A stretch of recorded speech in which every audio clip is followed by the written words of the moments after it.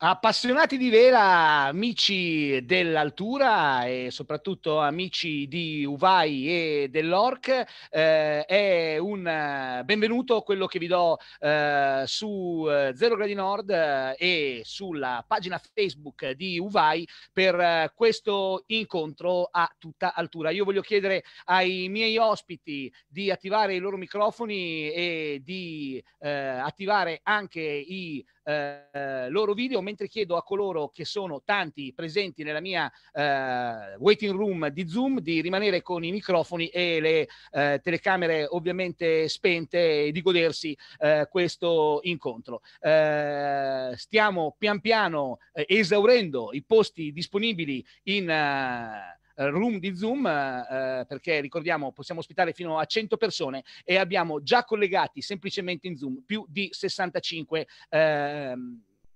appassionati di vela e di altura. Intanto io vado a introdurre quelli che sono i eh, miei ospiti della serata, eh, i miei relatori, a partire dal presidente di Uvai, quindi padrone di casa, eh, quantomeno al mio pari di eh, questo eh, streaming, di questa diretta, Fabrizio Gagliardi. Ciao Fabrizio. Grazie, buonasera a tutti. Eh, francamente non mi sento padrone di casa, ma se mi sento sicuramente molto onorato di essere qui questa sera con voi. E... È un momento sicuramente difficile, eh, quindi vediamo di tirare un po' le fila della situazione. E poi ancora ad intrattenerci Nicola Sironi, stazzatore dell'Orc, storico stazzatore, storico volto dell'Orc. Buonasera Nicola. Buonasera a tutti. E ancora lo yacht designer Matteo Polli. Matteo, benvenuto. Grazie, buonasera a tutti. E poi per conto di North Sales, due specialist, eh, uno, eh, tutti e due molto conosciuti, eh, Alessandro Battistelli. Ciao Alessandro. Buonasera a tutti, ciao. E complimenti per i quadri che sono alle tue spalle e il notissimo sei designer Michele Malandra. Buonasera Michele. Buonasera a tutti. Grazie Michele di aver accettato il nostro invito. E per iniziare, siamo live su Zero Gradi Nord, siamo live sulla pagina di Uvai, abbiamo tantissime persone che ci stanno seguendo. Parola al presidente di Uvai Gagliardi per fare un po' il punto della situazione. A che punto siamo Fabrizio? Siamo ancora a un punto di non partenza, nel senso che abbiamo ancora le barche ferme.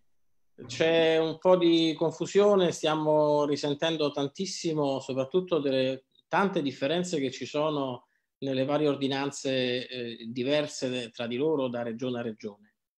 Siamo fermi praticamente da inizio marzo, eh, in alcune regioni ci hanno permesso recentemente di andare a vedere le nostre barche e di poter fare qualche piccolo lavoro, in altre regioni hanno consentito anche da, di recente piccole uscite, però insomma non è ancora questa la strada per riprendere eh, la stagione una stagione che parte sicuramente monca, abbiamo perso molti eventi importanti, eh, praticamente tutte le regate di qualifica per l'italiano e tutte le più importanti tappe dell'offshore.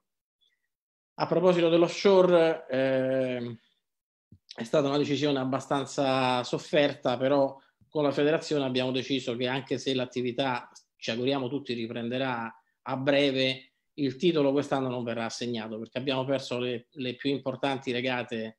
Questa barca mi sembra riconoscerla. Abbiamo perso le più importanti regate della stagione, d'altronde appuntamenti di rilevanza internazionale era logico che venissero direttamente rinviati all'anno prossimo perché eh, immaginate che ancora oggi non possiamo spostarci da regione a regione, figuriamoci far venire barche dall'estero. Quando si ripartirà? È la domanda che fanno tutti. Eh, probabilmente, eh, perché ancora non è uscita la decisione di questa sera, i circoli verici potranno riaprire dal 25 di maggio e questo già è un, un buon segnale perché si potrà riandare al circolo, si potranno riprendere le barche con tutte le precauzioni del caso, con eh, spogliatoi contingentati, eh, sistemi per eh, lavarsi le mani entrando e uscendo, eccetera, eccetera. Vorrebbero addirittura eh, sanificare le barche prima di ogni uscita e dopo ogni uscita. Vedremo. Comunque, in qualche modo ci faranno riuscire. Mentre eh, in questo momento per la parte, diciamo, eh, derive è tutto abbastanza più semplice, per l'altura è un po' più complesso, perché le nostre barche sono ferme nei marina, tranne quei pochi fortunati che hanno dei circoli con, con le banchine proprie, e, e, quindi sono soggette anche a tutta un'altra serie di controlli e di, di, autorità. Come andremo? Uh, verosimilmente si partirà inizialmente con, eh, co- come d'altronde per le derive, con un'attività di uscite, quindi chiamiamoli allenamenti, non ancora regate. E già in questa fase dovremo fare i conti con mh, problematiche del tipo uh, bisognerà mettersi la mascherina, bisognerà stare in barca distanti, eh, probabilmente bisognerà ridurre il numero delle persone imbarcate. Questo anche, credo, poi in un futuro, quando riprenderà diciamo, l'attività agonistica, contiamo, anzi, per la verità, speriamo di poter riparlare di regate a partire dal mese di luglio. Questo potrebbe essere un buon auspicio perché, come tutti voi sapete, eh, l'appuntamento più importante dell'anno è il campionato italiano che è in programma alla fine di agosto a Gaeta e quindi se mm. diciamo da luglio riparte l'attività agonistica ci sono ottime probabilità che, eccolo, eccolo qui il nostro campionato assoluto, ci sono ottime probabilità che eh, alla fine di agosto a Gaeta ci potremo andare e potremo disputare il campionato. Anche lì, eh, diciamo, finché saremo a terra sulle banchine, saremo soggetti a tutte le restrizioni a cui sarà soggetto tutto, tutta Italia. Una volta in barca, non si sa se regateremo con le mascherine, probabilmente regateremo con equipaggi forse un po' ridotti, si sta pensando addirittura a, non so, ipotizzare dei ruoli fissi in maniera che chi sta al winch di sinistra non si sposta da lì e chi sta al winch di destra non si sposta da lì e così fra di loro stanno a una distanza, diciamo, ragionevole. Sono tutte cose che stiamo valutando con la federazione che poi... Eh, si interfaccia con, con, il governo e quindi con la, la commissione tecnico-scientifica che poi è quella che ha l'ultimo, eh, diciamo, l'ultimo parere su questa, su questa vicenda. Le altre regate forse qualcosa si potrà recuperare, soprattutto a livello magari più zonale, più locale. Si potranno recuperare delle regate non disputate sulle boe, anche qualche, magari qualche bella lunga si potrà ancora fare diciamo, se riuscissimo a portare a casa il campionato italiano ad agosto e la Coppa Italia a ottobre, che sono diciamo, i due eventi clou della, della stagione, già mi, mi, sentirei abbastanza contento. Vedete che quest'anno la Coppa Italia è abbinata al Capitello d'Argento che doveva essere disputato i primi di giugno e ovviamente come tutto il resto dell'attività agonistica è stato eh, diciamo, posticipato dato che le due manifestazioni hanno un regolamento abbastanza simile, perché poi a, a parte diciamo, il titolo individuale, fondamentalmente sono due regate di squadre, abbiamo pensato con gli amici di Puntala di unirle e di disputarle una dentro l'altra.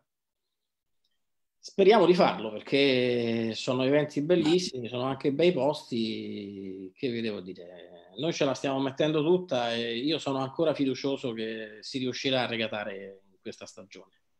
L'europeo, come sapete, è stato rinviato direttamente al 2021, come la Palermo-Monte Carlo, come la Giraglia, come la 151, come diciamo la Brindisi Corfu, come quasi tutte le regate di rilevanza internazionale. Incrociamo le dita e siamo fiduciosi. Però Fabrizio mi sembra di poter dire da quello che ci siamo raccontati oggi nel nostro meeting preparatorio in vista di questa serata, c'è tanta voglia da parte degli armatori di eh, tornare a regatare, di tornare in acqua, perché insomma c'è tanto interesse anche verso il campionato italiano del quale hai appena parlato. Sì, eh, la domanda che fanno tutti è quello di cui parliamo quotidianamente, quando riusciremo a tornare, ma, ma non a tornare in barca per andare in barca, ma a tornare in barca per fare le regate, perché poi siamo tutti un po' deviati da questo, no? E quindi... Ecco, forse un, una prima ripresa, diciamo il primo gradino di ripresa dell'attività agonistica, proprio per un discorso di contingentamento del, degli equipaggi e di eh, distanziamento, potrebbe essere qualche regata per due, che potremmo mettere in cantiere anche in tempi molto brevi, perché in effetti in due persone sicuramente si sta abbastanza a distanza uno dall'altro.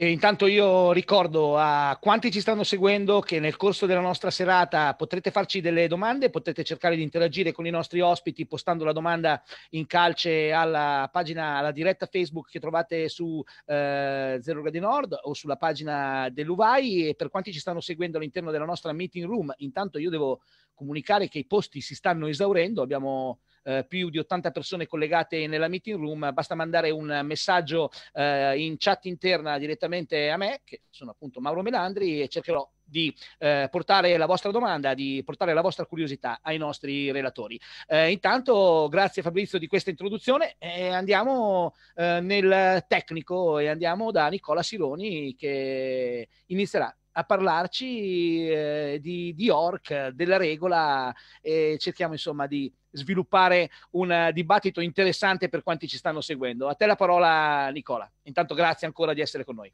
No, grazie a te dell'invito, eh, saluti a tutti. Eh, io lavoro per l'ORC da ormai 30 anni, eh, sono le mie prime riunioni in cui mi sono avvicinato a questa organizzazione internazionale risalgono al 1981 quando sono entrato nel comitato tecnico e poi da lì sono poi successivamente diventato capo stazzatore fino a due anni fa quando sono stato sostituito da, dal croato Zoran Grubica.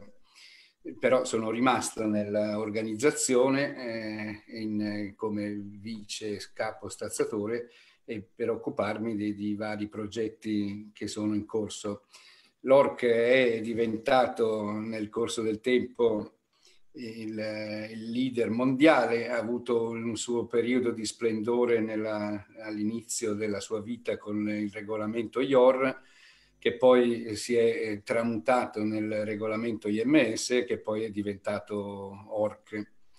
Il sistema ORC è un sistema scientifico che è stato inizialmente messo a punto e studiato dagli americani, dall'MIT in, in modo molto brillante, molto eh, lungimirante come, come, idea. In realtà era nato come per mettere a punto uno strumento che eh, potesse fare una regola migliore di, dello IOR che mostrava un po' di buchi e che non era un po' soggetto alla, agli strapazzi dei progettisti e per cui è stato studiato il, questo VPP, il Velocity Prediction Program, che se pensiamo ai tempi dell'era pre-PC era un progetto molto ambizioso e, e per valutare le prestazioni della barca in tutte le andature.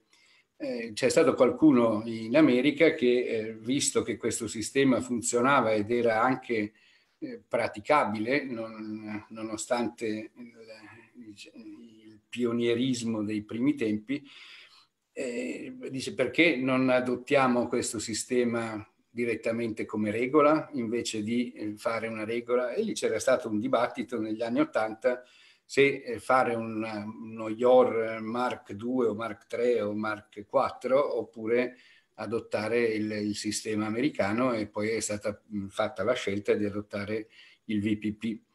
Io mm, in Italia mi sono occupato negli anni 90 di eh, andare in giro a stazzare le barche, a spiegare alla, alla gente come funzionava questo sistema che è complesso sia nella parte eh, di acquisizione dei dati sia poi nella parte di applicazione del, del sistema nelle regate perché ci sono i bastoni, ci sono le regate lunghe, ci sono le regate con tanto vento, con poco vento e, e questo è proprio uno dei poteri del sistema di poter eh, dare l'handicap giusto a seconda delle condizioni e non avere gli, quelli che gli inglesi chiamano gli horses for courses e quindi avere se si va in un posto come dove c'è tanto vento ovviamente una barca leggera e sovrainvelata è perdente rispetto alle altre e, e viceversa. Questo sistema via via si è evoluto negli anni, sono stati fatti vari affinamenti, ci sono state varie versioni del certificato e comunque la, la, documentazione è tutta disponibile. Se adesso posso mh, far vedere. Assolutamente, ti ho abilitato come co-host di questa serata. Allora vediamo se riesco a farlo velocemente. Qui era... Ecco qua, no? il, il, non so se vedete, si vede lo schermo. Ancora in questo momento no. Vediamo, forse non ho zoom, share screen. Come si fa? Arc.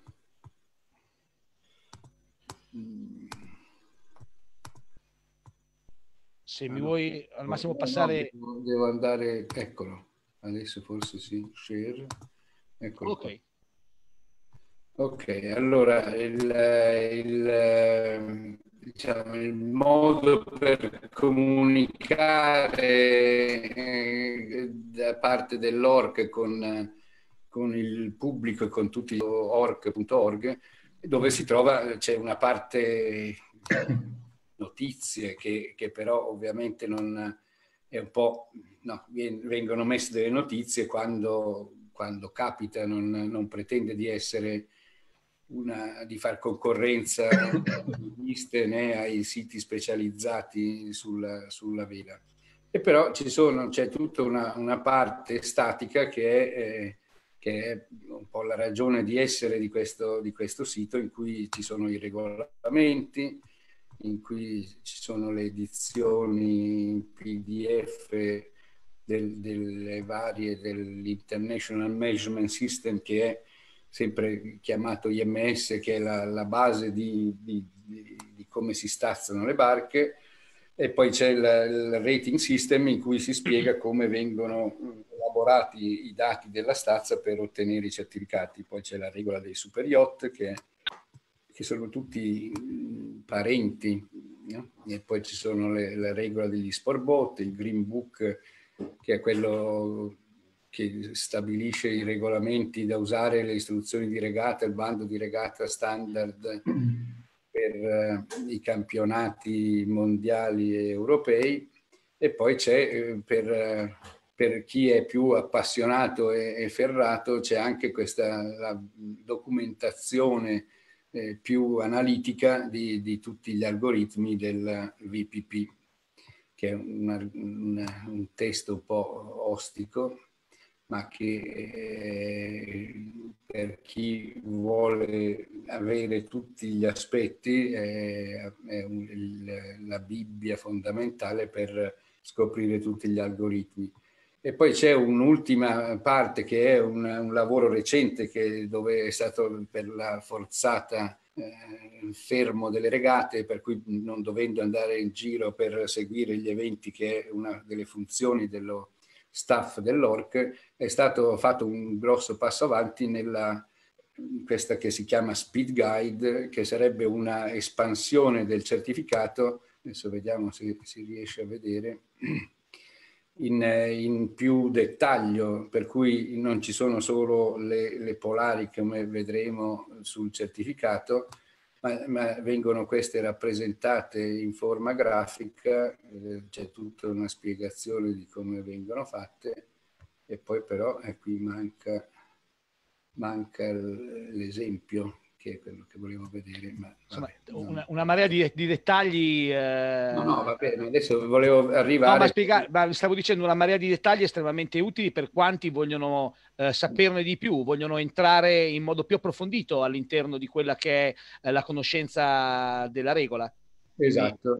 Entra in tecnicismi per intenderci. In particolare, visto che no, si era parlato di una spiegazione di che cosa c'è nel certificato di stazza, adesso volevo far vedere la, la, il, in questo tab dei rating c'è una spiegazione eh, parzialmente interattiva di cos'è un certificato ORC International, cominciamo da quello, e qui eh, viene spiegato per, per, ognuna di queste caselle in cui si divide il, che sono rappresentate nella stampa del certificato, sono, c'è anche una spiegazione passando col mouse sopra a ogni casella, eh, c'è tutta la spiegazione di che cosa quali sono il, cosa, è il contenuto. Diciamo che in questa tabella qui sono riassunti tutti i dati sintetici dei calcoli di stazza e in questa parte ci sono diciamo, la parte anagrafica per identificare che tipo di barca è, che, che geometria dello scafo è stata usata. E poi più in basso ci sono invece tutti gli handicap, tutti i vari numeri, quelli semplificati e poi tutta la tabella delle polari, ripetuta sia in secondi miglio che in nodi e che rappresenta la, la, la polare, insomma il potenziale di velocità per le, sette velocità del vento considerate e per i dieci angoli del vento dalla bolina alla poppa passando di, di, di, angolo in angolo, in cui viene considerato quelle che sono le, le vele eh, presenti a bordo. Eh, qui c'è il, la seconda pagina che è invece il riassunto di tutte le misure in cui ci sono la, la parte dell'elica, la parte del rig, dell'alberatura, la parte della stabilità e poi le vele in cui viene indicate le misure della vela più grande di ogni tipo e poi l'inventario di stazza in cui si eh, elencano se c'è la zavorra, se, dove sono le, mm, i serbatoi, le batterie e tutte le cose che eh, servono, che sono eh, accuratamente rilevate dallo stazzatore quando fa la stazza e poi c'è una, una, terza pagina che è facoltativa in cui eh, sono riportate in scala tutte le misure del piano velico e delle vele. Tutto questo e... è documentato. Ti fermo un attimo perché nel corso di questa tua spiegazione hai citato appunto polari, hai citato inventario vele, insomma sono i numeri che servono a identificare e a descrivere eh, appunto numericamente un'imbarcazione. Eh, Matteo, eh, insomma, per un progettista come te, eh, che cos'è un certificato di stazza? Cosa rappresenta? Eh, la soluzione della realizzazione, tra virgolette, della, del tuo pensiero in, in numeri? Eh, insomma, è, è, una bella parte del, del, del mio lavoro perché ovviamente eh, lavorando come me nel settore appunto delle, delle regate a compenso, eh, una parte sono le prestazioni in mare della barca e l'altra parte eh, molto importante appunto il numero sul certificato, quindi eh, è, è, un pezzo molto importante. È, ehm, è un sistema così complesso, eh, richiede parecchio studio per capire quali sono le, eh, modalità per riuscire ad avere un, un, rapporto ottimale tra prestazioni e rating.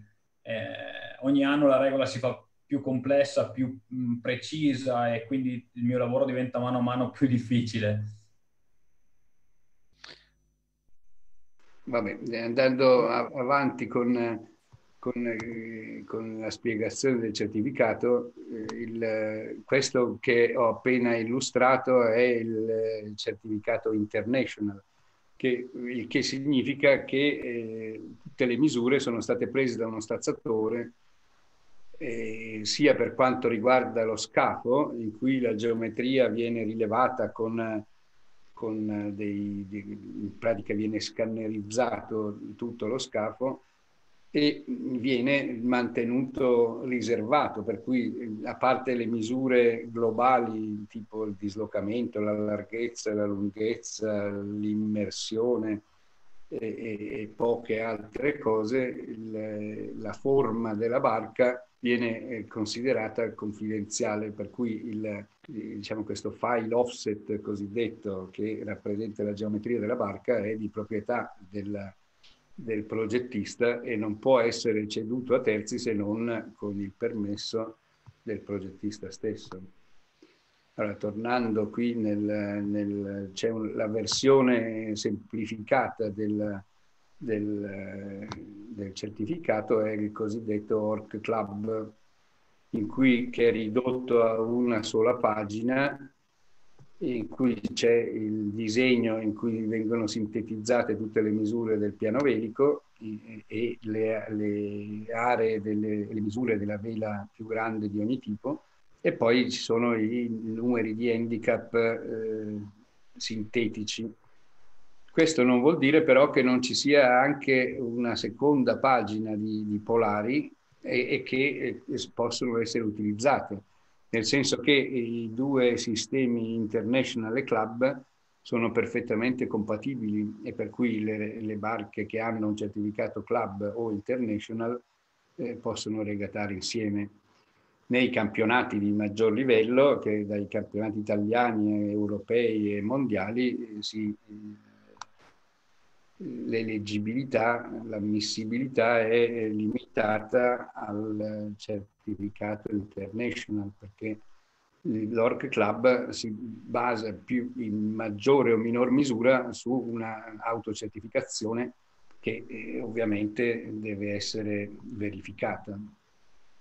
Ecco, una novità che è uscita quest'anno è il certificato double-handed cosiddetto, quello per due Fino all'anno scorso il, un handicap per due veniva riassunto nella, in una casellina qui dei rating speciali in cui compare ad esempio il rating eh, senza spin, che, no? togliendo dal calcolo del VPP la considerazione degli spinnaker per, eh, visto il successo e, e no, queste prospettive olimpiche che ci sono per questo nuovo modo di regatare in due, è stato fatto questa una nuova veste grafica soprattutto del certificato in cui che praticamente è come l'Orc Club ma, eh, ma alcune cose diverse tra le quali anche due nuovi sistemi di rating che sono predominantly upwind e downwind che eh, sono stati fatti secondo una composizione eh, che può essere usata, ma si possono, ciò non toglie che si possa usare sia il GPH che, che gli altri no, rating tipo il coastal long distance o il circular random o altri che vengono applicati normalmente. Di solito eh, la cosa è stata vista più verso le regate lunghe perché queste regate double-handed di solito si fanno per le regate lunghe, soprattutto se eh, queste barche sono mescolate in una flotta.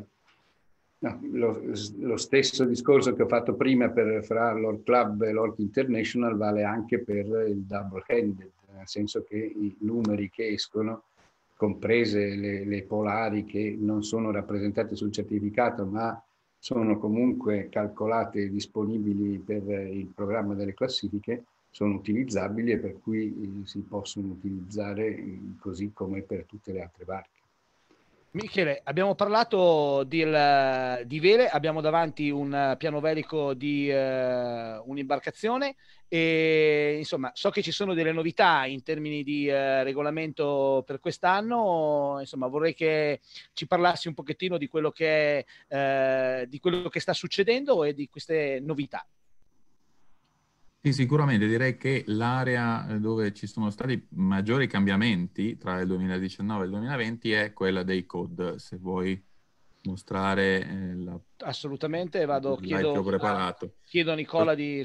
Grazie Nicola, così okay. è modo di uh, far vedere il, graf... il materiale che ci ha preparato Michele Malandra per questa nostra diretta. Eccolo che arriva ed eccolo qui. Giusto per definire eh, di che cosa stiamo parlando, il code è il classico frullone che viene utilizzato per tutte le andature che non sono eh, strettamente la bolina o la poppa eh, dei bastoni.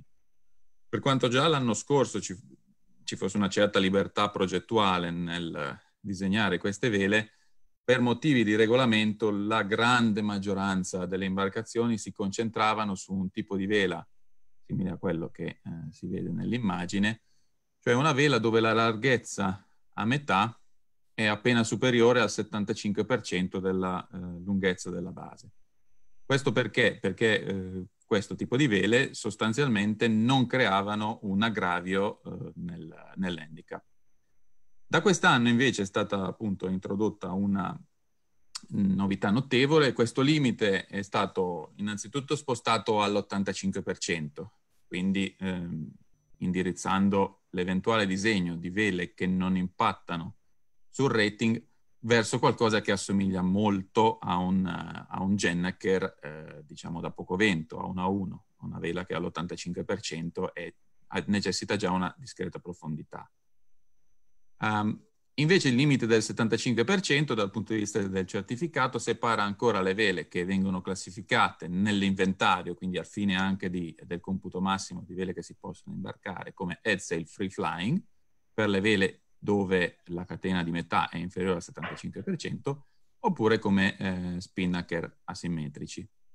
Quello che è molto interessante è che mentre fino all'anno scorso in qualche modo la regola indirizzava assieme alle preferenze sicuramente di, di tanti armatori verso vele appunto, verso un disegno di vela abbastanza standard, quest'anno è stata introdotta una notevole libertà uh, di progetto cercando eh, di uh, diciamo, assegnare il giusto compenso ad ogni tipologia di vela. Quindi c'è una notevole complessità rispetto all'anno scorso, che devo essere onesto, all'inizio dell'anno ci ha anche un po' spaventati, ma a mio modo di vedere, soprattutto dalla, dal punto di vista del disegno della vela, c'è una notevole opportunità. C'è l'opportunità di disegnare delle vele più adatte alle ehm, richieste di utilizzo in termini di angoli apparenti o di intensità di vento. Se vuoi procedere all'altra slide. Um, appunto all'inizio dell'anno per digerire un po' meglio queste grandi modifiche abbiamo fatto uh, al nostro interno un grosso eh, sforzo di, eh, di, studio per capire come variano i compensi um, in funzione del tipo di vela. Ci siamo mossi in un ipotetico piano area larghezza metà in due direzioni diverse. Una lungo di, la diagonale, come vedete abbiamo disegnato delle vele um, dove i punti di attacco sono i medesimi, cambiando la larghezza a metà della vela. Quindi ci siamo mossi dall'85% in alto a destra al 55% in basso a sinistra. Perché è molto importante la larghezza a metà della vela? Non è semplicemente un parametro, diciamo, di stazza eh, che definisce il numero eh, finale che finisce sul certificato.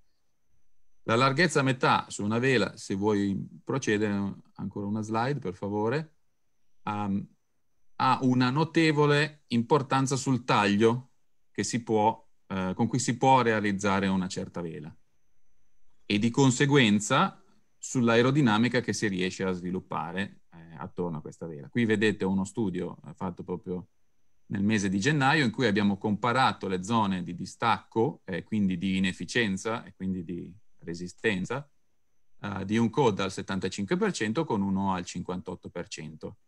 Eh, in particolare nella zona della balumina delle due immagini a sinistra si vede una grossa regione di distacco e quindi di freno contro una regione molto più piccola uh, nella seconda vela al, al 58%. Questo consente sostanzialmente di indirizzare una vela più stretta in un utilizzo ad angoli più apparenti più stretti, quindi avvicinarsi a coprire il range appena fuori dalla bolina, piuttosto che a dover andare decisamente poggiati a trovarsi magari scarichi o senza la vela adatta in quella regione di angoli tra diciamo il 50 e l'80 di vento angolo reale rispetto alla barca. Vuoi procedere? L'altra area che eh, abbiamo investigato è proprio l'area della vela. Qui ci siamo mossi in qualche modo in orizzontale in quel piano, quindi mantenendo l'area costante, abbiamo verificato l'effetto sui numeri del regolamento, sull'handicap, um, della sola dimensione a metà rispetto alla base. Quindi una vela di dimensioni identiche, in un caso che si avvicina alla vela triangolare, estremizzando il Genoa, un Genoa molto grande, e dall'altra parte invece si avvicina a un A1 molto allungato. Passo all'ultima slide per far vedere mm, i numeri. Eh, che cosa succede? Nella casellina blu vedete eh, in tutte le caselle, ma in particolare in quella blu, la differenza eh, in secondi miglio eh, tra una barca che imbarca un COD e una barca che non, che non ce l'ha. Mentre l'anno scorso nella casellina blu ci sarebbe stato scritto zero, proprio perché il COD al 75% non era in nessun modo penalizzato, quest'anno ci sono 2,3 secondi miglio. Qui vi faccio vedere una barca tipica che è un TP52 ottimizzato ORC, quindi diciamo una delle barche di riferimento per il raggruppamento dei, dei grandi in termini di posizione in classifica. Quello che è molto interessante rispetto all'anno scorso è che spostandoci in orizzontale, quindi facendo delle vele sempre più, più triangolari e quindi da un punto di vista dell'efficienza aerodinamica preferibili, questo numero, che è riferito in particolare sul certificato al time on distance single number, cambia abbastanza poco. Quello che cambia invece, nella zona che ho evidenziato nella zona rossa, quando la vela diventa un po' più triangolare, cominciano a essere um, toccati i coefficienti della bolina, perché giustamente per venti molto leggeri il software del VPP suppone che si possa utilizzare quella vela, diciamo, come Genoa se si scende ancora molto, sia con la catena a metà, quindi si fa un vero Genoa, eh, angolo in basso a sinistra, di area significativamente più piccola, si vede che il compenso, la differenza in compenso, quindi quanto si paga la vela sostanzialmente, di nuovo diminuisce.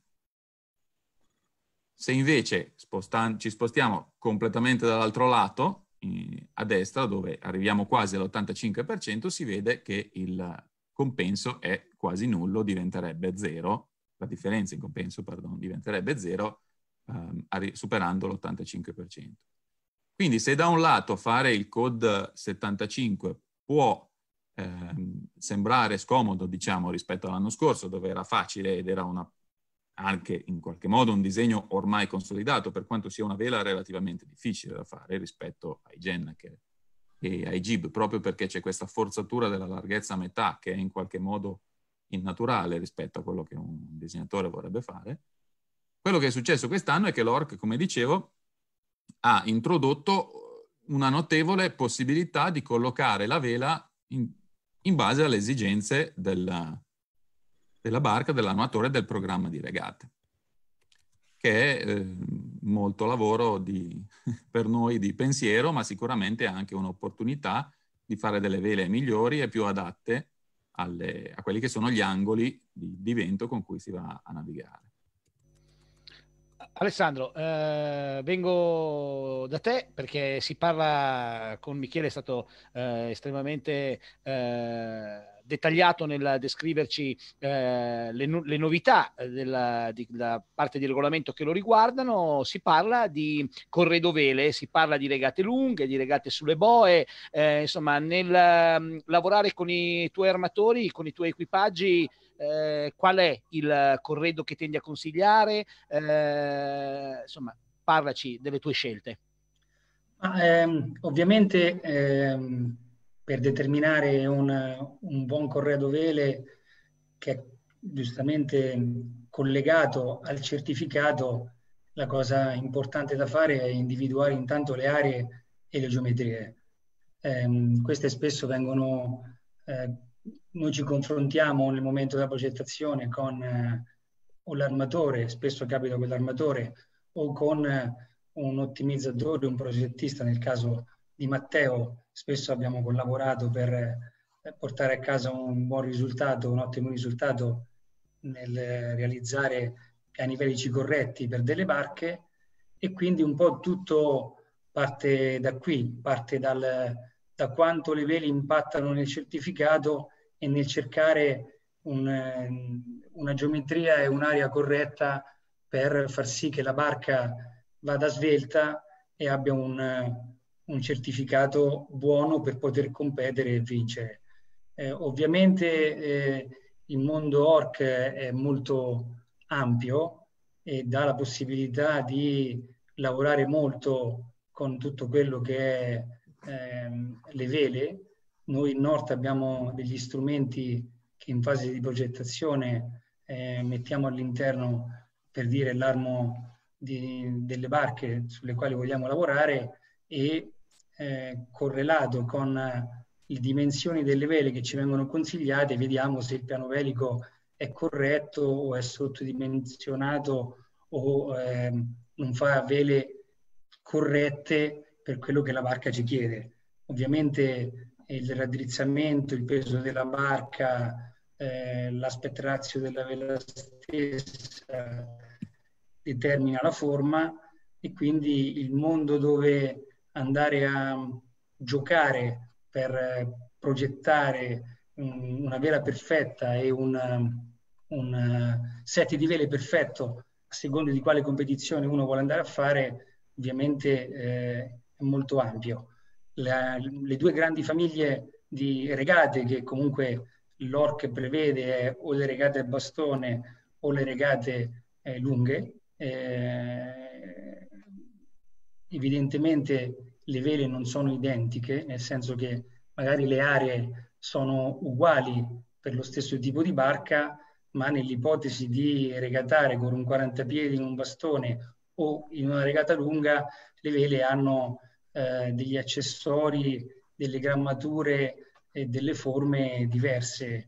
Per intenderci, una barca che compete, un 40 piedi che compete in una regata a bastone, eh, avrà un corredo che è una randa senza mani di terzaroli, eh, tre gibo geno a secondo dell'armo della barca, che sarà un leggero, un medio, un pesante, con i primi due massima grandezza, il pesante un, po', un filo più piccolo, e due o tre spinnaker che o asimmetrici o simmetrici o asimmetrici che può essere un, un, che in genere è una 1, una 1,5, una 2 per range, per dire la 1 è una vela che si porta fino a 8 nodi, un filo più piccolo della massima grandezza per farlo volare meglio, con un tessuto molto leggero che è 0,5, un eh, a 1,5 S1,5 che è una vela che va da 8 a 12-13 nodi, serve per un 40 piedi ipotetico che è uno 0,6 come pesantezza di materiale e un uh, A2 S2 che è uno 0,75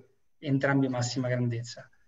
E adesso um, si utilizza molto anche di spinnaker staysail per far sì che la barca eh, sia più ehm, performante in poppa e per poggiare un filo di più.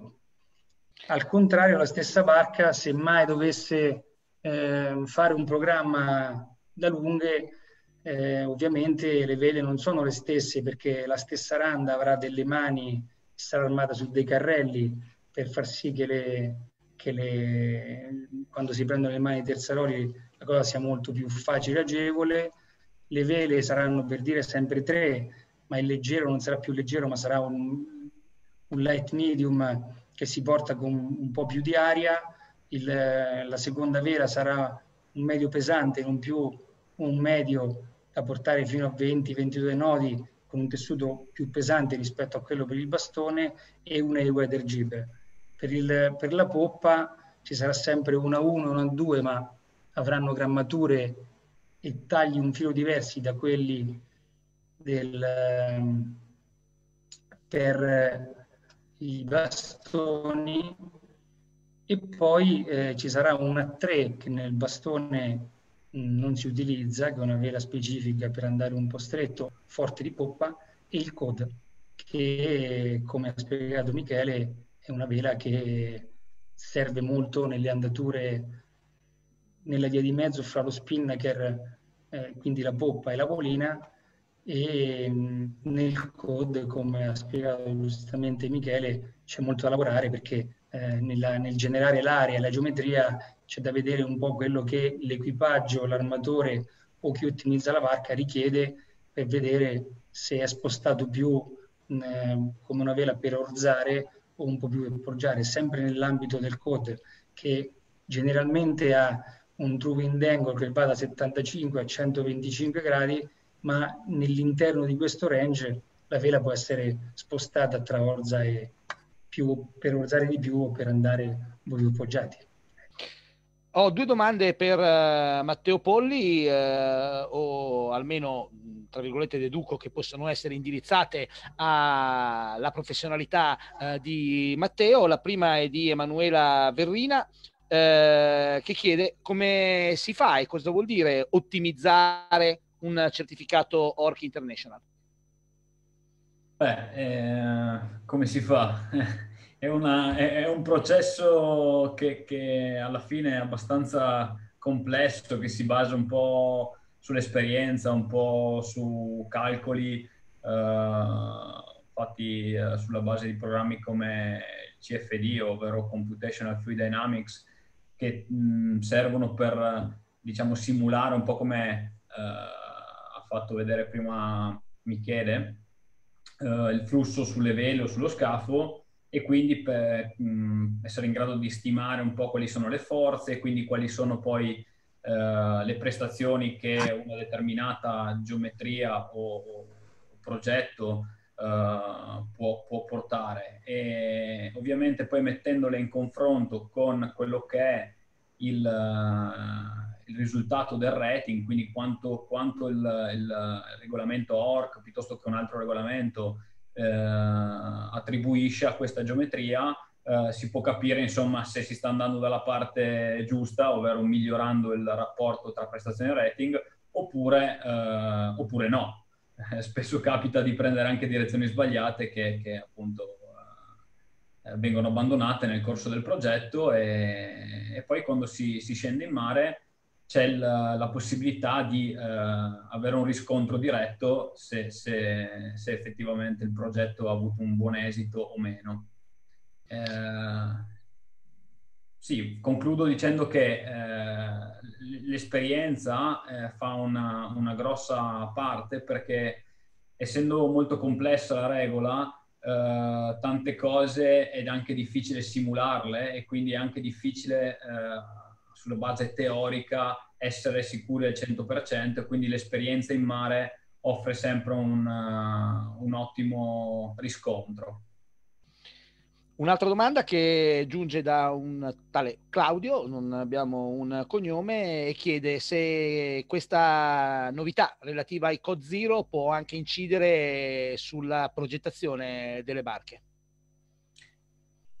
Allora, uh, beh, non credo che incida mh, sulla progettazione delle barche, sicuramente inciderà molto sul, sul, su come verrà fatto il piano velico e su come eh, e su che strade eh, diciamo, eh, prenderà l'ottimizzazione della, della, vela in sé. Adesso siamo proprio agli inizi di questa, di questa novità e quindi ancora, siccome questa novità renderà tutto molto più complesso anche dal punto di vista dell'ottimizzazione, eh, penso dovremmo ancora trovare le strade per eh, ottimali o migliori per, per avere il massimo del, del rapporto prestazioni-rating, quindi è ancora un po' presto per dire quali saranno le strade, ma non credo che cambierà per esempio la forma dello scafo piuttosto che eh, diciamo le appendici, eh, forse avrà un impatto sul piano velico ecco, nel futuro questo, questo cambiamento. Vado da Fabrizio. Fabrizio, c'è una domanda per te da parte di Fabio Montefusco che eh, dice appunto spero che il Ministero ci faccia fare il campionato italiano a Gaeta eh, perché mh, si aspettano tante barche competitive prendendo le misure di sicurezza come mascherine eh, briefing all'aperto e anche premiazione all'aperto dove a Gaeta appunto c'è uno spazio enorme. Si riferisce all'italiano, sottolinea perché tutte quelle che sono le altre manifestazioni aperte agli stranieri potrebbero subire appunto eh, dei problemi dovuti a questo periodo di lockdown che stiamo vivendo. Eh, che cosa ne pensi? Sì, sicuramente le manifestazioni internazionali subiranno uno stop per quest'anno. Gaeta, come ho detto, è, è l'obiettivo di tutti, vogliamo sicuramente andarci. Credo che sia anche abbastanza possibile farlo perché al di là delle, diciamo, di quegli aspetti eh, a cui siamo abituati, tipo i briefing, le scene, cioè tutte cose che eh, sicuramente per quest'anno ci dovremo dimenticare. La gestione tecnica di una regata non è poi così difficile, si può fare il briefing anziché di persona, si può fare via radio, ognuno sta nella sua barca il comitato interloquisce eh, via radio con, con, con i concorrenti. Eh, la premiazione probabilmente non si faranno, si faranno solo in presenza dei 4-5 premiati. la cena di, di, campionato sicuramente non si farà, si faranno altre cose. L'importante è che ci facciano andare in barca e credo che eh, insomma fine agosto sia un termine abbastanza lontano per eh, consentirci di essere fiduciosi perché se non dovesse così essere credo che eh, insomma, la vela sarà l'ultimo dei nostri problemi perché se a fine agosto ancora non si potrà fare vuol dire che ci sarà um, una seconda ondata o una terza ondata veramente preoccupante e dovremo preoccuparci di altro piuttosto che di andare in barca. Intanto abbiamo la nostra audience che ha tante curiosità, abbiamo più di 200 persone, la nostra platea è composta da più di 200 persone che ci sta seguendo. Vado da Nicola, c'è una domanda che eh, penso possa essere eh, pane per lui eh, ed è, eh, la chiede Umberto Coppola e dice ottimizzando una barca per il 2020, avendo fatto determinate vele per le regole del 2020 e visto che quest'anno difficilmente potremo usufruire di tutte queste ottimizzazioni. Eh, è prevedibile che non ci saranno cambiamenti per il 2021? Beh, ci sono l'ITC di cui fa parte anche Matteo Polli, eh, è un'entità composta da 11 persone eh, di, di, varie nazionalità e di varie estrazioni che si riunisce tre volte all'anno e ha un'agenda in, in continua evoluzione, per cui ci sono sempre eh, degli argomenti per, eh, no, che alle volte non portano a niente, ma altre volte portano a dei cambiamenti consistenti.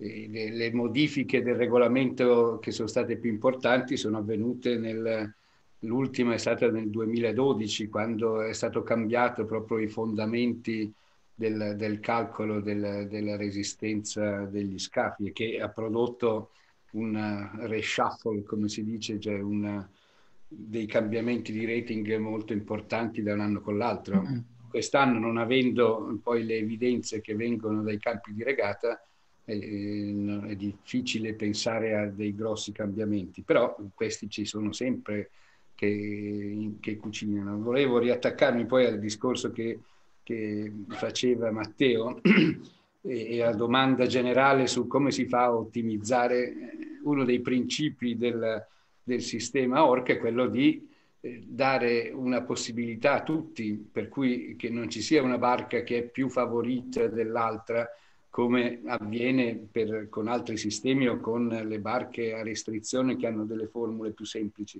Per cui il metodo per ottimizzare, contrariamente a, a tanti che, che si sbagliano eh, non è quello di avere un rating migliore, ma quello di avere il rapporto prestazione-rating, come diceva Matteo, che sia più favorevole. Per far questo o si ha una, un VPP migliore di quello dell'ORC oppure si va un po' a tentoni o si, mh, si orienta la, la, l'ottimizzazione verso il programma di regate che si vuole fare.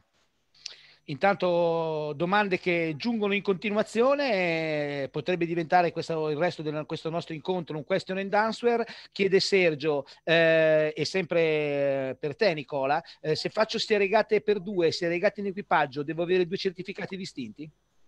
Beh, quest- da quest'anno sì, perché mentre fino all'anno scorso il certi- la, l'handicap per due era inserito nel certificato normale, quest'anno è, è, è un certificato a parte, che comunque se uno ha già un certificato non, non, richiede un pagamento in più. Se uno ha solo il certificato per due, lo paga come se fosse un certificato normale.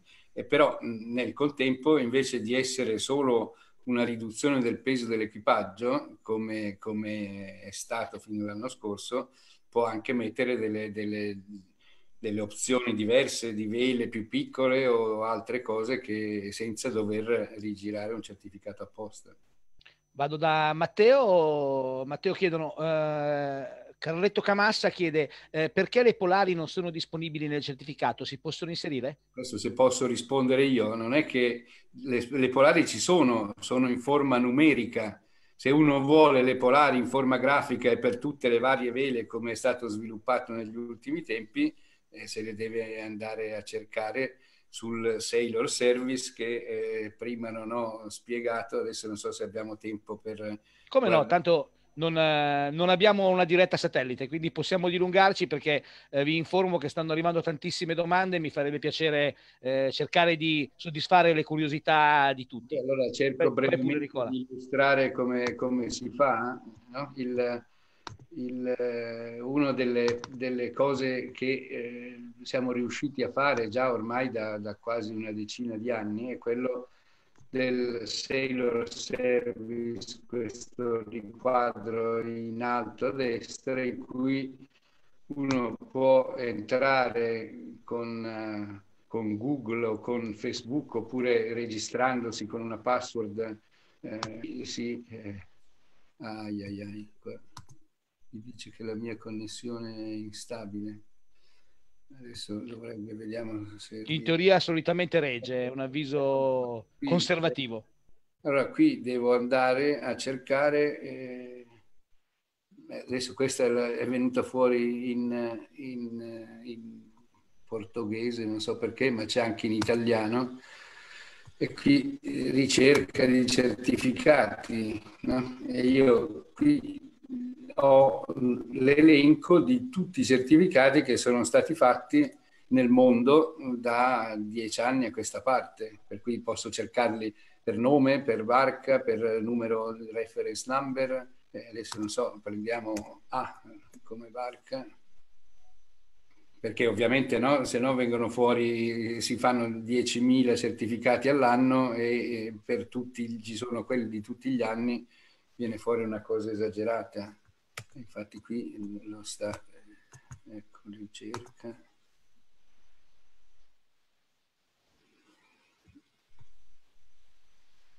Qui purtroppo la traduzione che devo fare, ecco, qui no, abbiamo tutti i certificati, questi sono, non sono attuali,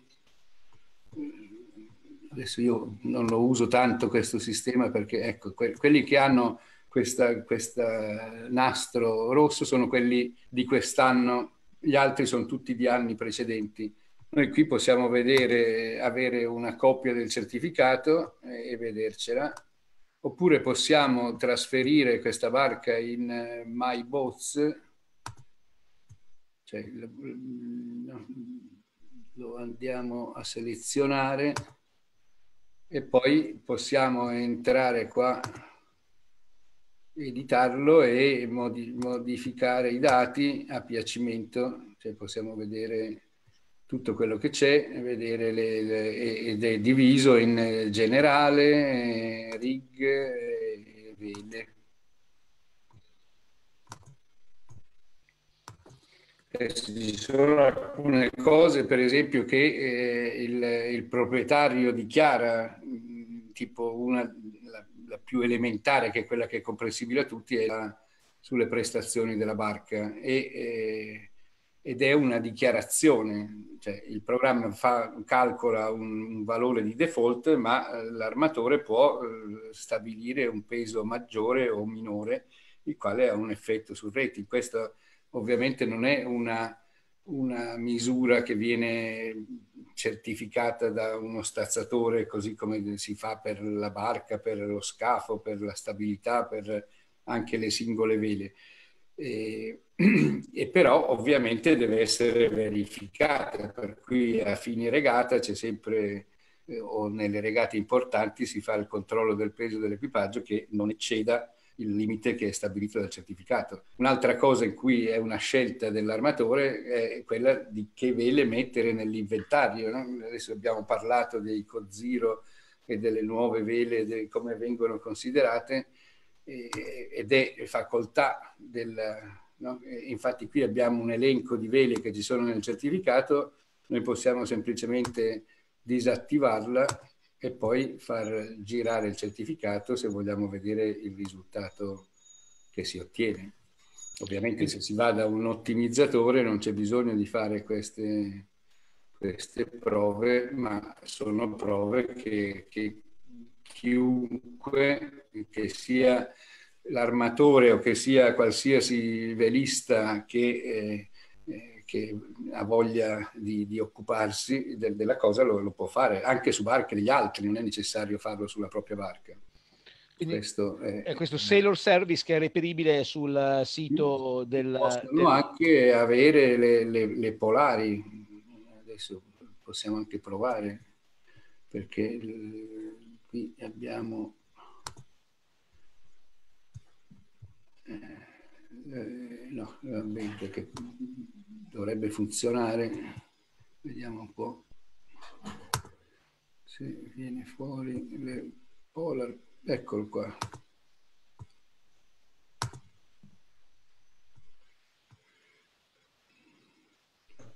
Eh no, ma se viene, mi mandano l'email e eh, vabbè.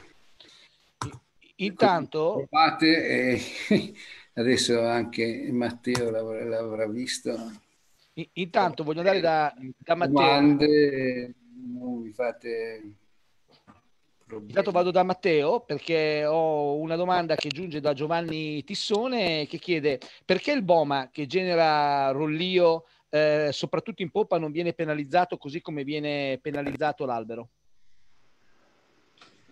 Uh, allora, eh, diciamo che l'elemento che crea più, uh, più, più diciamo, beccheggio sulla barca, o meglio che varia il comportamento della barca al beccheggio, è uh, l'albero e il relativo sartiame. Uh, il Boma lo fa, ma in una parte molto più uh, marginale e quindi effettivamente la regola non ne tiene in considerazione, perché ne tiene in considerazione come peso del corpo barca, ma non come impatto sul, sul beccheggio, perché è considerato un effetto minore, insomma sul, sul Jai Radius, se posso intervenire, una volta esisteva una penalità per il BOMA in materiale esotico rispetto a quello d'alluminio.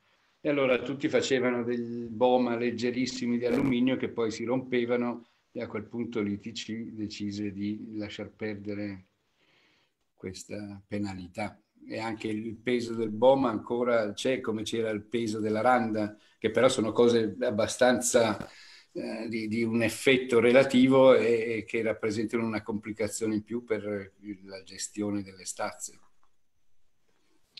Intanto vado da Michele, c'è una domanda da qualcuno che conosci sicuramente benissimo, Andrea Casale ti chiede che cosa ci racconti delle free flying sale alternative ai Code Zero. Eh.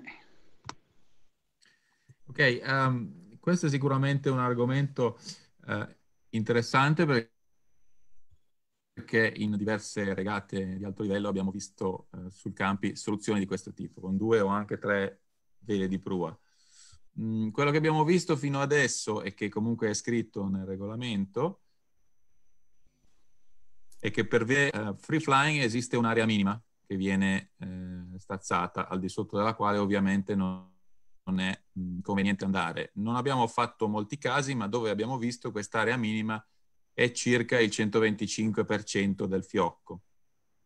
Eh, quindi se si fanno eh, ipoteticamente due fiocchi della stessa area, in realtà si paga parecchio di più e si paga un po' di più di quello che si paga ehm,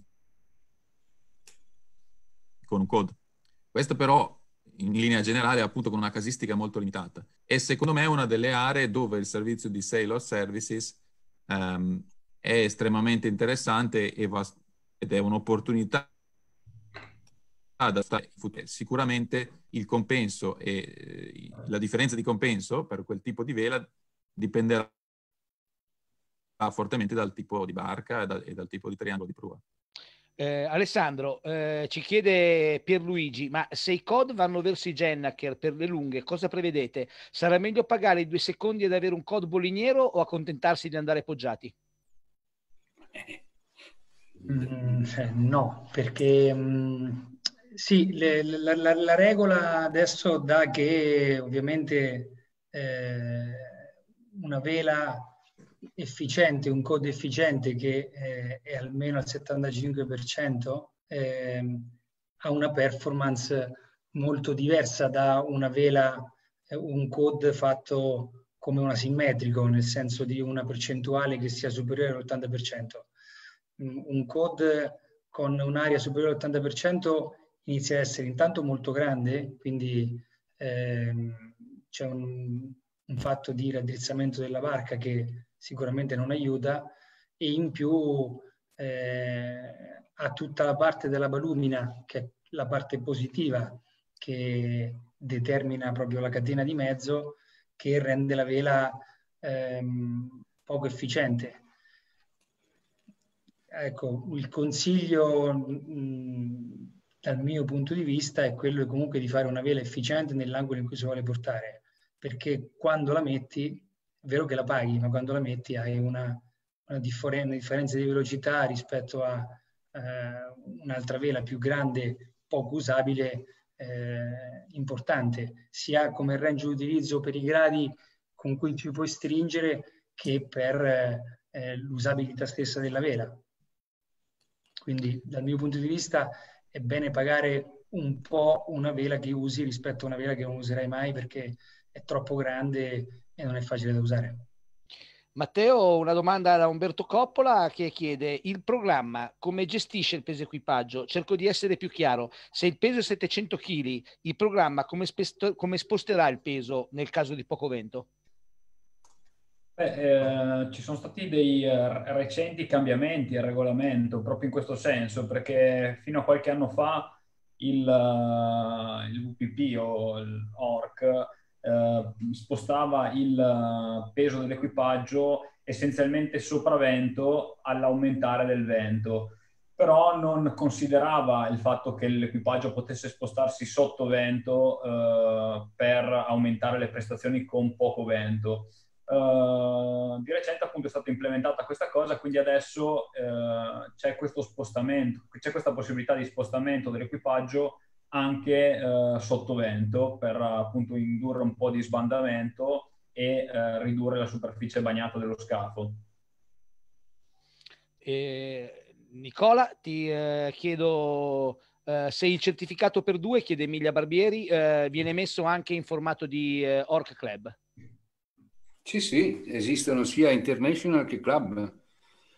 In realtà è, è un, un, solo formato, è unificato, che poi provenga da un international o da un club, eh, ha la stessa, lo stesso formato. E ancora da Matteo, eh, molte difficoltà, chiede Brady, eh, nella, nell'ottimizzazione sono portate dai comitati che spesso utilizzano numeri dei certificati diversi eh, o difficoltà nell'ottimizzazione. Eh, non si potrebbe omogeneizzare il tutto al meglio? Uh, penso che la domanda si riferisca a, al discorso che vengono utilizzati all'interno del sistema ORC modalità di compenso diverse, se capisco bene. Uh, questo succede perché ogni comitato, eh, diciamo, trova il, il, sistema più adatto a, a, all'evento che sta, che sta facendo.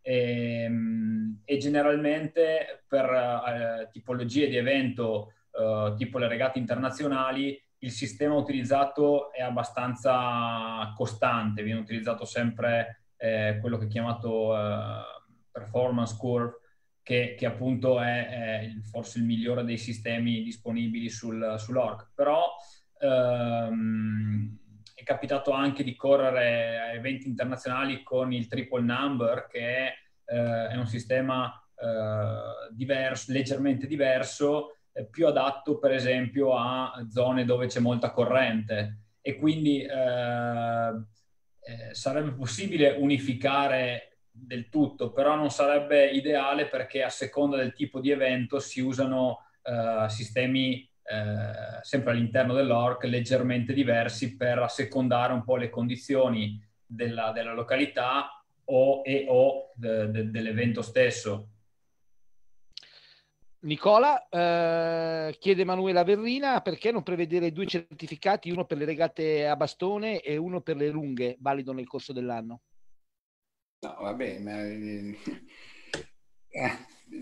questo sì, è una domanda che è stata fatta parecchie volte perché c'è chi usa gli asimmetrici per le lunghe e non li usa per, per i bastoni, ci sono state varie richieste. Il problema è quello che eh, ogni barca ha una presenza nella, nel database eh, secondo l'ultimo certificato per cui se ce ne sono due coesistenti, eh, poi questo può far incorrere in errori e per cui prendere il certificato sbagliato e, e dopo se si accorge dopo e, e succede un pasticcio.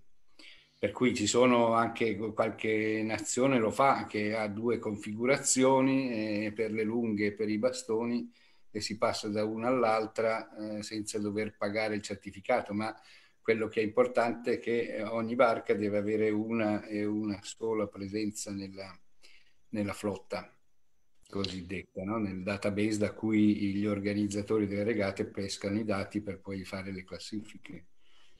Questo, no? Adesso quest'anno con i double-handed è stato creato un serbatoio a parte per, proprio per i certificati per due, per cui uno può avere contemporaneamente il certificato per due e il certificato standard per equipaggio. Però questo per avere due configurazioni diverse sulla stessa barca, questo eh, ancora non è, non è permesso, anche se è un'istanza che non è la prima volta che la sento. E ancora da Matteo, siamo in argomenti tecnici, chiedono perché invece delle misurazioni dei bordi liberi non si pesano le barche come nell'IRC? Questa è anche un'altra domanda spinosa che, su cui vorrei coinvolgere anche Nicola, però eh, la risposta è abbastanza semplice, nel senso che il, il fatto di misurare i bordi liberi eh, impone uh, problematiche minori rispetto alla pesa su una bilancia, perché eh, l'ORC mh, come regolamento eh, si estende a qualsiasi misura di barca, per cui eh, se per pesare su una bilancia un J24 la cosa sarebbe molto semplice, fare la stessa cosa su una barca di 30 metri potrebbe non essere così semplice. Quindi la, la misurazione dei bordi liberi rende più semplice questa operazione eh, su tutto lo spettro di grandezza di barche e, e, può essere anche più facilmente verificata all'interno di un campionato dove non sempre è possibile eh, sollevare le barche su una bilancia. Eh, quindi eh, è, è una, una, cosa un po' più versatile, più compl- forse più complessa dal punto di vista del, della, della, della, misura, perché non è che, che, si legge un numero sulla bilancia, ma bisogna fare eh, una misurazione con un metro posto in una certa maniera tutto quanto, però alla fine è più facilmente esplicabile come, come metodologia non solo, anche perché la, la, pesatura sembra facile, ma non è come andare dal salumiere e pesare mezzo chilo di qualche cosa, no? eh, si tratta di mettere in, in, moto dinamometri, punti singoli, i maniglioni, le, le, le, cinghie bagnate, le cinghie asciutte, ci sono una serie di, di, di problematiche per cui e, e, poi soprattutto quello che c'è a bordo, per cui quando eh, in fondo Archimede aveva stabilito il suo principio qualche anno fa, ma c'è ancora gente che non ci crede. No? E, e, o che non crede nella bontà della geometria eh, che permette di usare il principio di Archimede, che sicuramente eh, è meno è meno costoso di chiamare una gru e prendere il, il, il trespolo, perché sì, certo, no?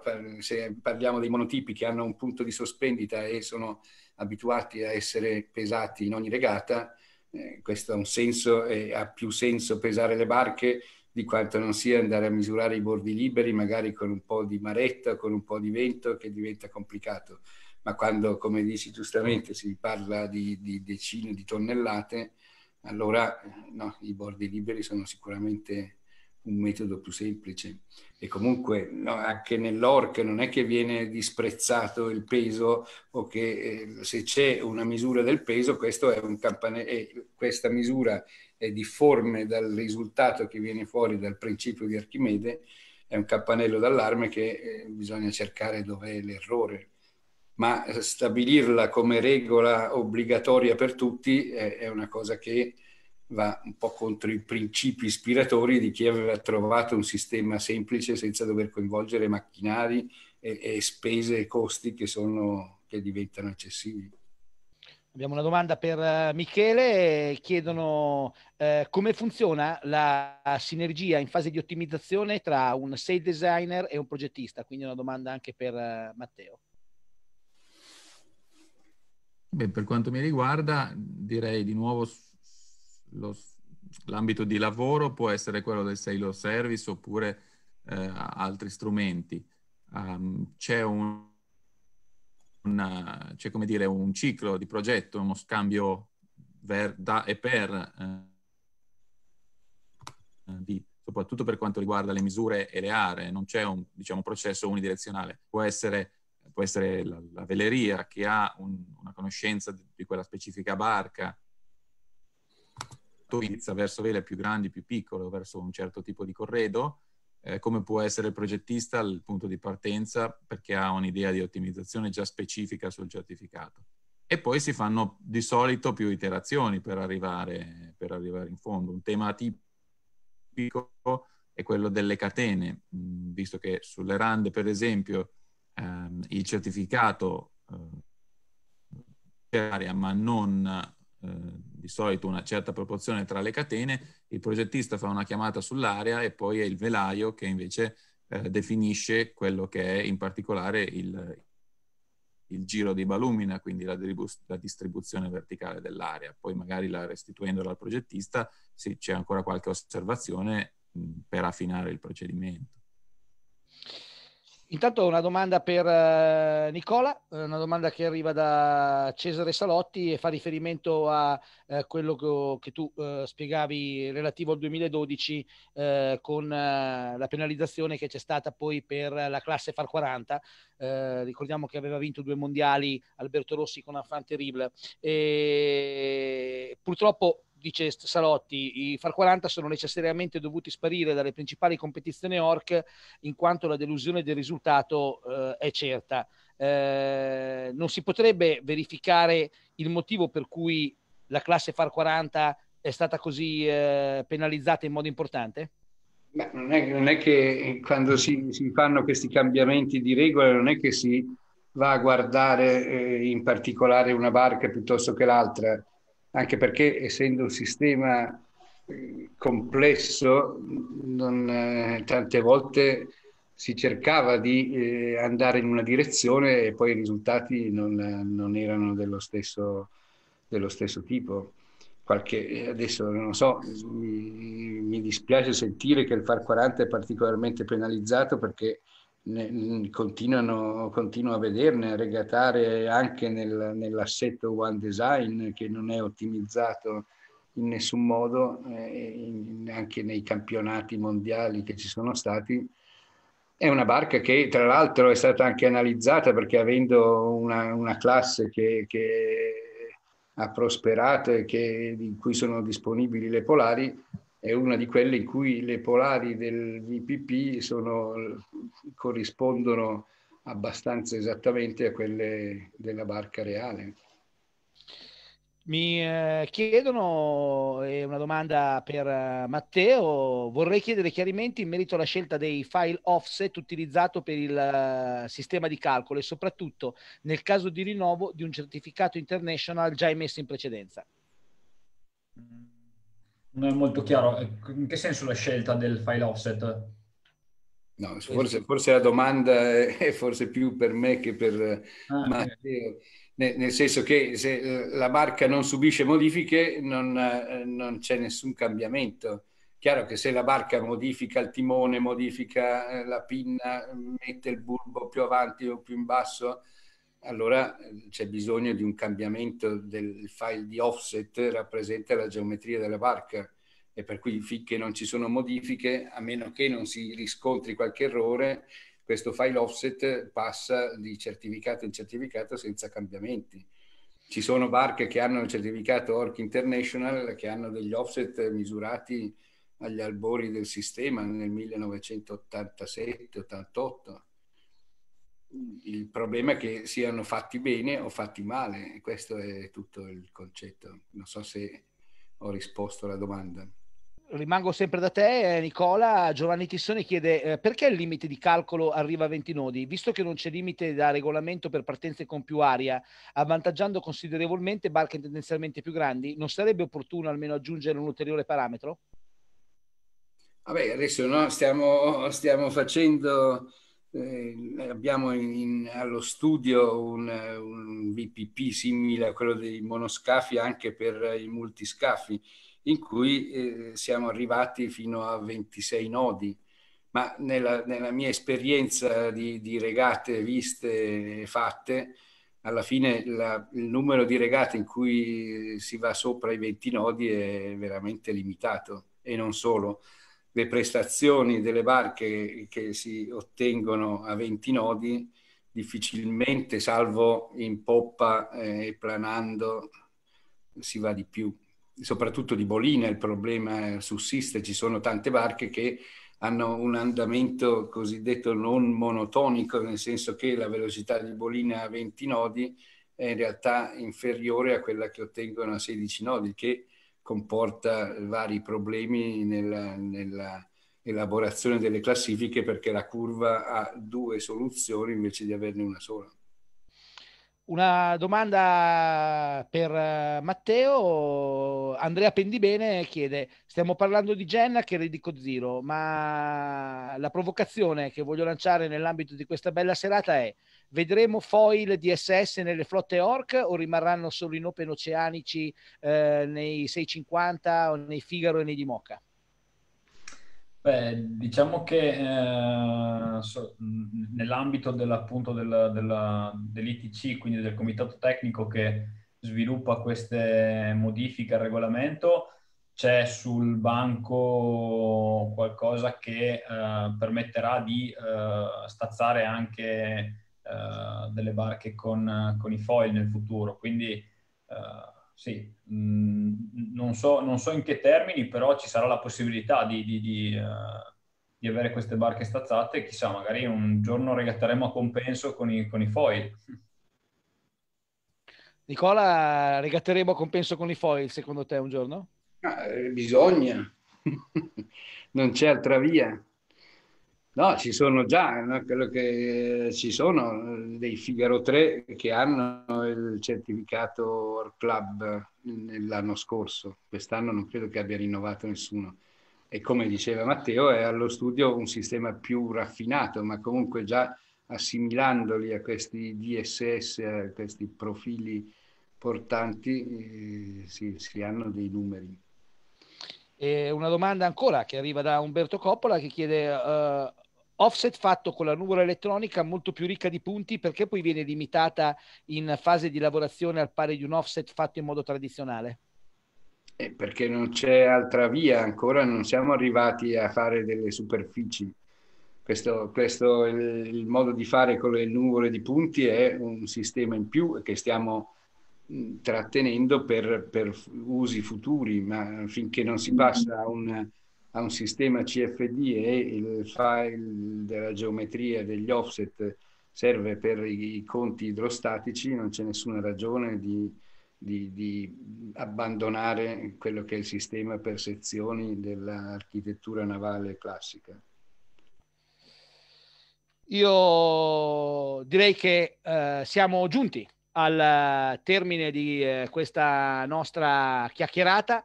Eh, c'è ancora tanta gente che ci sta seguendo. Guarda, una domanda che arriva in questo momento, questa è sicuramente per Nicola, una domanda per così dire romantica, chiede ma come si può diventare stazzatori Nicola?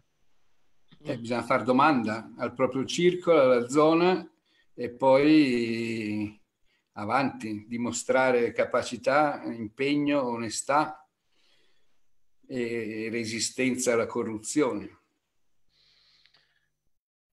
E con questa risposta di eh, Nicola, attenzione, arriva un altro messaggio. Eh, perché nel certificato non viene tenuto conto dei prodotti usati per uh, la carena? Eh, Nicola se, e per Matteo. Ci sono delle proposte avanti perché eh, cioè, il, il, VPP non può tener conto di tutto. Una delle cose di cui non tiene conto adesso, visto che ci sono tanti velai in, nel gruppo come relatori, uno de, dei punti che mancano è quello di analizzare la forma delle vele, che è una delle cose di cui si è anche parlato in qualche riunione del, del comitato tecnico. Però, eh, visto che la forma della vela è una cosa che dipende dal trimmer, dal taglio, dal tessuto, dalla deformazione, è un problema talmente complesso che non, viene, che non è possibile considerare così come non è possibile eh, dare una valutazione di una vela vecchia rispetto a una nuova, che invece eh, tutti sappiamo che ha un suo effetto abbastanza importante sulle prestazioni. Sempre meglio la nuova. Eh, eh bella forza. Eh, quello, per cui cambiare le vele è, è una delle cose, è una, la forma di ottimizzazione più cara ma uh, più efficace. Efficiente. Eh, Michele, il tuo punto di vista su, uh, questo intervento di uh, Nicola? Eh, sì, sarebbe bello, però è già molto complicato per noi in questa, in questa fase e credo che la tecnologia non, non, sia ancora così avanzata per permettere di fare una stima dell'influenza della forma delle vele in maniera, diciamo, disponibile a, a, al pubblico e sui grandi numeri di cui avrebbe bisogno l'Orca in questo momento. Forse si può lavorare magari eh, per utilizzare qualche parametro molto semplificato, però che possa dare per esempio una uh, valutazione generica e preliminare sulla profondità della vera. Ecco, questo sì, però richiede sicuramente molto lavoro uh, e messa a punto per avere dei risultati soddisfacenti. Una domanda per il presidente Gagliardi, si è risvegliata ancora la nostra audience che è sempre solida, abbiamo sempre circa 200 persone che ci stanno seguendo. E, presidente, ti chiedono eh, con l'interesse verso la classe offshore in doppio misto in ottica 2024, già per il campionato italiano offshore del 2021, il bilanciamento tra legate tra le boe lunghe rimarrà invariato? Il campionato offshore si corre solo su regate lunghe, non si corre sui bastoni. Quindi eh, la, la, risposta è arrivata rapidissima ad Andrea che aveva posto questa eh, domanda. Eh, vediamo se c'è qualcuno che chiede qualcos'altro. Al momento sembrerebbe di no e io eh, in chiusura di questa nostra diretta voglio ringraziare i nostri ospiti, ricordare che sono tutti quanti eh, raggiungibili o tramite il sito dell'ORC per quanto riguarda eh, Nicola Sironi che ci ha spiegato come eh, poter sfruttare il Sailor Service, se ricordo bene il nome eh, dell'ORC, un uh, servizio che riserva uh, tante curiosità per uh, i più eh, attenti alle dinamiche del mondo orc e eh, Michele Malandra e Alessandro Battistelli sono due specialist, eh, un sales designer e uno specialist di eh, North Sales, eh, quindi basta eh, rivolgersi presso gli account North per entrare in contatto con loro. Matteo Polli ovviamente è reperibile sia sui social che tramite sito internet. Ci vuoi ricordare qual è il tuo sito Matteo? Ah, matteopoliodesign.com Matteo Matteo Polioddesign.com e il presidente eh, Gagliardi. Eh, presidente, ti devo dire insomma che ci stanno facendo molti complimenti per uh, questa serata e per aver portato contenuti eh, interessanti un po' alla conoscenza di tutti. Voglio lasciarti la parola per un saluto eh, conclusivo a quanti ci hanno seguito per poi andare io a chiudere la nostra diretta. Sì, sono, devo dire, sono molto contento. Abbiamo fatto un, un sacco di dirette in questo periodo, eh, non siamo riusciti ad andare in barca, ma forse ci siamo parlati molto di più e, e siamo riusciti ad avvicinare anche i nostri armatori in maniera più, più semplice, con una serie di illustrazioni, domande, chiarimenti. Spesso uh, ho visto che ci sono dei dubbi anche banali che si possono, diciamo, chiarire in maniera molto elementare quindi mi auguro che faremo ancora altri incontri, magari sviluppando altri temi. Io ti ringrazio molto Presidente e quindi ultimo giro di saluti, ringrazio il Presidente Gagliardi che è stato eh, nostro ospite, ricordiamo Presidente dell'UVAI, Unione Vera d'Altura, ringrazio anche Lello Magnini eh, del, dell'ufficio stampa che è stato molto collaborativo nel comunicare quanto avevamo intenzione di fare a tutti quanti gli associati di UVAI. Grazie ad Alessandro Battistelli eh, di North Sales, a Michele Malandra di North Sales, al uh, Matteo Polli designer Matteo Polli e a Nicola Sironi che ci ha spiegato eh, come si compone e, e, cosa sono tutti quei numerini che ci sono all'interno di un certificato ORC Club ORC International. Io ringrazio ancora i miei ospiti, ringrazio quanti ci hanno seguito e vi auguro la più felice delle notti. Arrivederci a tutti. Buonanotte.